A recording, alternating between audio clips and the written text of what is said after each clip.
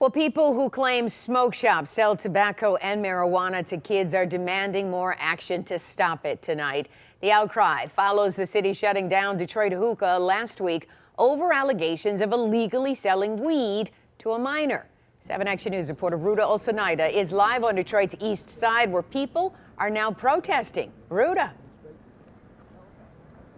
Yeah, good evening, you guys. Well, it all stems from the community members being frustrated that both tobacco and weed are getting sold to underage individuals. It's exactly what this hookah shop behind me here did. They got shut down for it. And so now the community has decided to rise up saying just shutting that one business down isn't enough. So we've got CP here. He's a local minister. Thank you so much for joining me. Tell us why you guys decided to come out here today, even though that business is now shut down.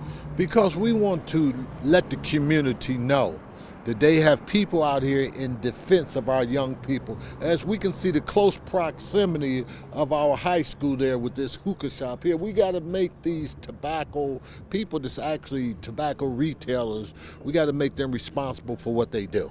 They're given license to do these things. Now here it is, they're not only selling um, tobacco to underage children, but they are also selling illegal marijuana. Yeah pointing our minds of our young people. So we are here standing as a wall of brass in defense of what is taking place. The time is now. Mm. People say, why you ain't came before? We here now, and you see us now because the time is now.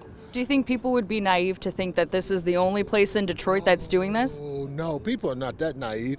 It's even a sign out there now, this um, redirecting people to another location they actually have. And we'll be visiting that location also. You know, this is serious business. This is no longer going to be business as usual because this is unusual business as of this day we got here. a gas station on the west side that's already sold vapes to 12 year old and 11 year old children.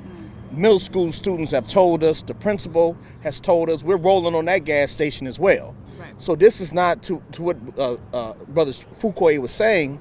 It's not restricted to just high schoolers at Pershing. This is an issue throughout the city. It's an issue with several different establishments, and it speaks to the blatant disregard for Detroiters and for really young black life. You wouldn't do this in your own communities. Why you then come into our communities and do it with our children? It is absolutely unacceptable. Just like we don't accept the violence, we don't accept violence being uh, committed in this form to our children. Right. Well, slowly killing our children. You can see the frustration here. We'll have more for you guys at both 10 and 11, so make sure to stay with us. For now, live in Detroit, I'm Ruta Ulcinaite, 7 Action News. Yeah, thank you so much, Ruta. I see a number of community members who are really activists in the city of Detroit, so hopefully they can get something done. Thank you so much, Ruta, for that live report.